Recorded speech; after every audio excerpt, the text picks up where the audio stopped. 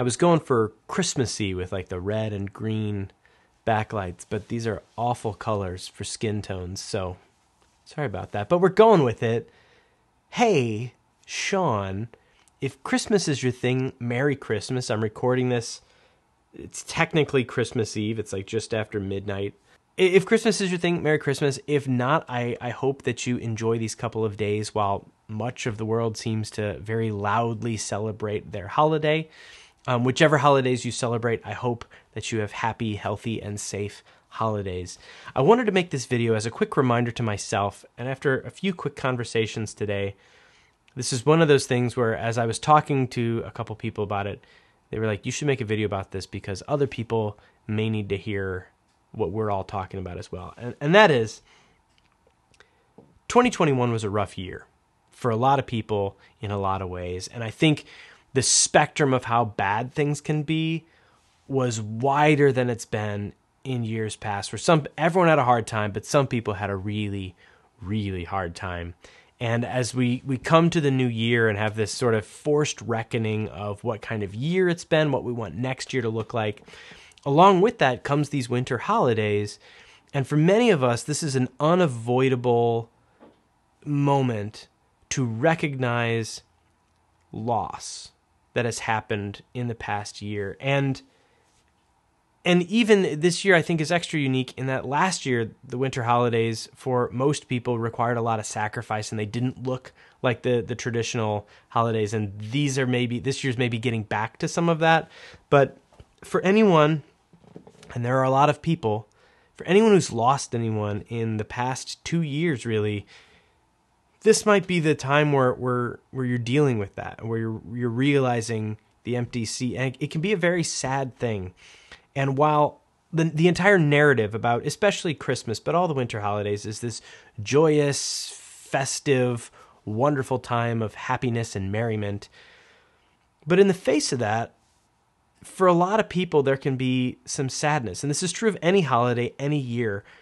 But I don't think it's a stretch to say that this year there's going to be a lot more people feeling some loss, feeling some stress, feeling some sadness from things that they're forced to reckon with this year from the past year and, and, and, the year before that. And so I wanted to make this video as a reminder to myself, and, and maybe it's helpful to you too, but give yourself a little bit of time. Be patient with yourself because you're allowed to feel any of the emotions that you're going to feel. And if you waste any time feeling bad about those emotions or like if if if everyone is happy around you and you're just sort of sad thinking about something, that's okay. And don't don't force yourself out of that. Embrace those emotions and sit with them for as long as you need to sit with them and find joy where you can find it and appreciate the sadness where you can. And and know that no part of you should feel guilty for these feelings and at the same time extend that not just to yourself but to everyone around you. We are all dealing with things this year, and as we're scrambling maybe to finish gift buying, I hope when you're watching this, if if you're watching this, I hope you've finished any gift buying if that's something that you do. But in all that, there have been no shortage of people who have brought that to reality for you. There have been retail clerks, there have been delivery drivers, there have been manufacturers and people in fulfillment centers all over the country, all over the world who are are doing their job and making it possible for you to have the holiday that you're going to have and some of the happy moments that you'll hopefully have. It's due to the hard work of a lot of other people. And so, A, be grateful for that and give people a little bit of space, give people a little bit of room, but also understand that every one of these people is probably dealing with the same things that you're dealing with. And remembering that and, and giving people that room to feel the same things that you might be feeling is so important. And as we as we we drive around in these next few days and as we maybe if you're going to parties please do so safely and responsibly. But as you do maybe leave a bit of room for somebody to merge. Maybe this isn't the time to cut somebody off. Um, put down your phone smile at a clerk whatever you've got going on if you've got just a little bit in yourself to be generous to to someone else with a little bit of time, a little bit of kindness, a little bit of happiness, it can have such a huge impact on that individual and on our community, our society, our world in general.